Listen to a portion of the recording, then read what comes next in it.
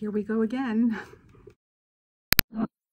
So as I mentioned before, 2022 was very much about the number three uh, for whatever reason. I did purchase all three of these uh, during 2022.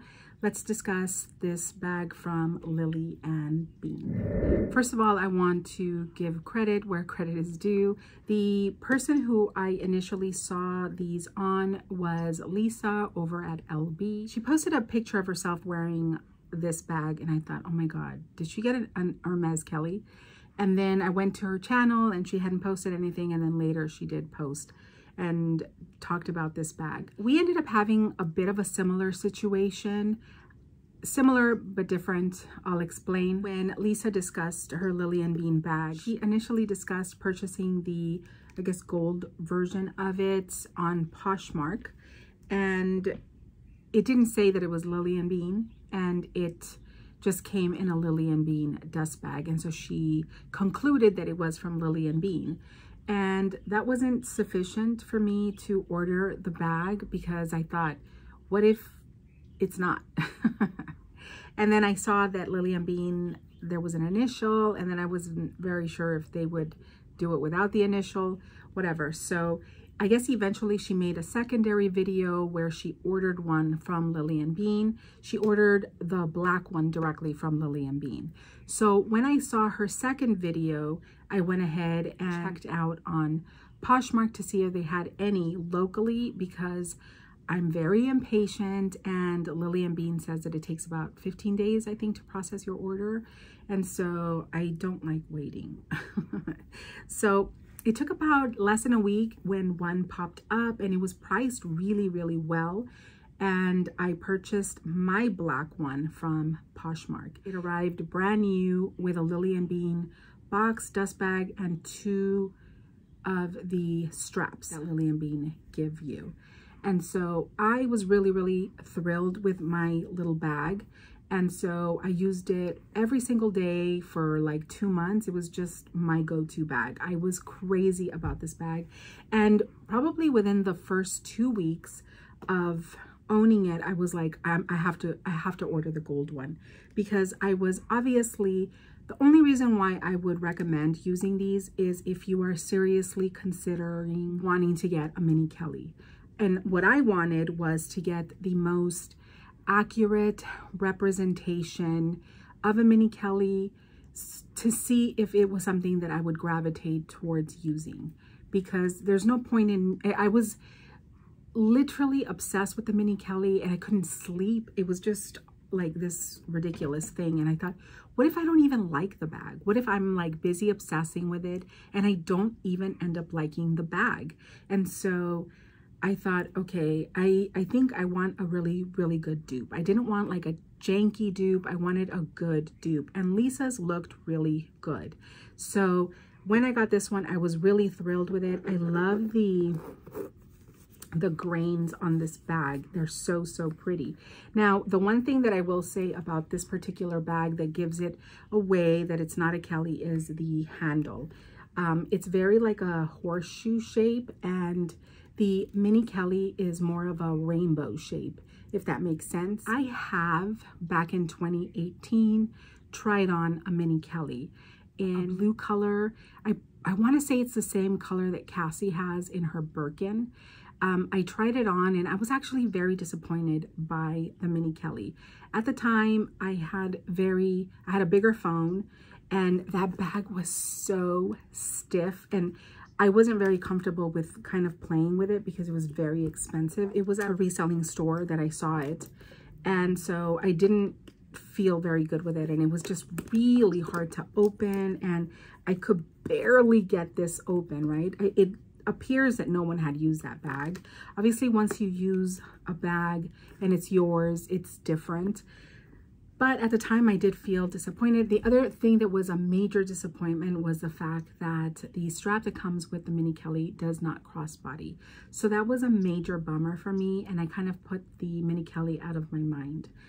Now, I've used like nano bags, right, from Fendi and even from Chanel, and now I'm thinking this is actually the perfect handbag size for me. So I think that that's where the obsession like really just broadened or, or kind of resurfaced. And so I, I wanted to try this. I wanted to know which one I should ask for, you know, if I ever do mm-hmm. try to get one from the boutique. And so, I, because I, I can't buy two. And I thought I should just get a black, but I really started to get an obsession with this color. So I used this one for a while. This one was perfect. It fits a lot. So I was really, really excited using this one. But then I ordered this one. And I have to say that the quality on the one that I ordered directly from Lily and Bean was just incredible. The stitching was perfect on this bag. And I have seen some of these bags come in with like janky stitching and really like janky glazing. And so I was very concerned that that's what I was going to get. Now, like Lisa, who ordered her black from Lily and Bean, and that one came in smaller than her gold that she purchased on Poshmark. My gold one came in smaller as well than the one that I initially purchased from Poshmark. This one's bigger than this one. And the strap on this one is shorter as well. So while I think this one's more beautiful, I haven't used this one as much. I can fit everything on it. I, am having a big kind of handheld bag moment at, at the moment. At the time, I, I hadn't yet. So I didn't use that this one this that much, but I'm crazy about the color on this one. The variation of the two is very interesting to me. You can clearly see that this bag is bigger. I love that they have little feet. And I'm not sure if you'll catch that it's also slightly bigger here. So just the, the small difference in size makes such a huge difference. I would say that this one is probably closer to the one that I tried on at the consignment store than this one. So there is that. Uh, on this one, I can fit my Pro Max phone. I can fit a card holder, my Bastia, and maybe one lip gloss. And then this one, I can fit two lip glosses and I can fit all of that. And it's not, I don't like struggle to close it. Other difference, as I mentioned with the strap is this one came in with very little clasps and the clasp that came with this one was slightly bigger. And I actually like this one better, to be honest. This is also thinner slightly. Um, the stitching on the strap is, I mean, it's okay. It has, isn't as good as on the bag, but that didn't bother me. I, I don't really care. I ended up ordering another because both straps that came with this one were really, really short. Neither one worked for me. And this one was perfect. This one crossbodies perfectly on me. I, I don't want to give you dimensions just because I feel with my experience with Lily and Bean, this stuff varies. There isn't a consistency in the bag, no matter which one you order. You might get one that's bigger, you might get one that's slightly smaller. So I don't really think that that matters. I don't think you can ask because I do think that they're a little bit made to order. I know that they come, I contacted Lily and Bean because it says on their website, lovingly engraved in the UK, some, something along those lines. But I wanted to know where the bag was made. so when I contacted them, their response was they're um, monogrammed in the UK. That was not my question. Where are they made? And so she told me it was, I want to say Hong Kong. I know it was in China. I'm pretty sure it was Hong Kong. I have lost the email, but they're made in Hong Kong. There is a variation in, it has anything to do with whether or not you find one on Poshmark or not. I just think that these bags are they just are made varied. So sometimes you might get a bigger one, sometimes you might get a smaller one. I don't know how that works. Now let's move on to the croc one. This one is the most stunning one that I've purchased. This one, again, came directly from Lily and Bean. Oh. I got this one on sale. And I want to say that the hardware isn't gold, it's rose gold, which I don't think it said that on the website. I don't mind it. I think it's really beautiful. I have not taken myself out of this bag since I received it. So we're going on a month of wearing it. And this one is even bigger than my black one. I don't know if you can tell, it is bigger. And I don't know if it's in my mind because whenever I see someone with a mini Kelly in the croc, a real mini Kelly, those look slightly bigger. So I'm not sure if that's my mind or if that's actually what Hermes does. They might make them slightly bigger, but I love the size of this one so much, so, so much. And so I've really enjoyed wearing it. I don't find these bags fussy, like it's so easy to use. The other variation on all of them is the sangles on them. On this black one, they fall a lot more than on any other one of these. I don't know why that is, but again, that's the variation here. You Once you put stuff in here, this one doesn't sag, like the sangles don't sag as much as you're seeing right now. It's just because it's empty, but this one barely sags at all. There's hardly any sag there. But this one, I love the way that looks. The other difference on this one is a couple of things actually. The croc one is the only one that comes with a lock and this clochette. Super, super pretty. The other variation in the croc that I don't love is, is an adjustable strap. None of them have been adjustable at all. They're all like just one size. I don't like it because it's not true to the bag. And though a lot of things are not going to be true to the bag, I, I've said before, whenever I do a dupe, I, I do it for a very, very specific reason. And it is to get an accurate representation of the bag and to see how it would work for me. And so obviously Hermes, it, the Hermes Kelly does not come with an adjustable strap. So I haven't even used this strap. And then this one was a lot more stiff. The strap on this one is really, really uh, soft and pliable and not stiff at all. And this one is a little more on the stiff side. So you, you can see that even though like I've kept it rolled up and stuff, it's a little more on the stiff side. So I don't love the strap. I've actually never used the strap. I've just used it handheld and I um, love how it sits in the car. It's just such a perfect bag.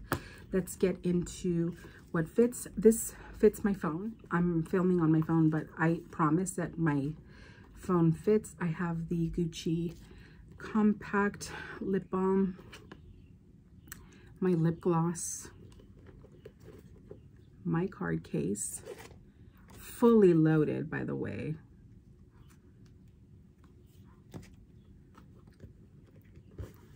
My key fob, again, also fully loaded. Chubby and all, my Bastia, again, fully loaded. I am pretty sure I can put some other stuff in here. This is what it looks like on the inside. Uh, this one had a chemical smell when it arrived, but it literally went away. And then it just had this like yummy leather smell. So this one also came in with a chemical smell and it never really did smell like leather. But I love this one. Ugh, I would go nuts if the size were the same. It's so pretty. This one is so, so pretty. Let me show you. This is the smallest one. The phone fits. I do not put a case on my phone though. That's on uh, none of them do I use a case. So case free. My card case. And the lip gloss, I can only fit this one. I can't fit anything else. And that one goes on top in this bag. The other one, it fits inside of the bag. And so that closes there. And yes, I still shove my phone in here. And then it's a little bit harder to close, but it fits all of that. And this is the smallest one. So I love this color. But like I said, I have seen other people receive this and it look janky. It almost, it has like a, um, it'll have a dent or something. I do know that Lily and Bean, if you get a janky piece, they will replace it. So I really love this. If you have been considering a mini Kelly and you've been obsessed with one like I have, this is a good reason to get these. Like I said before, I believe in manifestation. This is a placeholder for me for when I get mine. And I don't mind looking at things that way. I did that with my Cartier stack.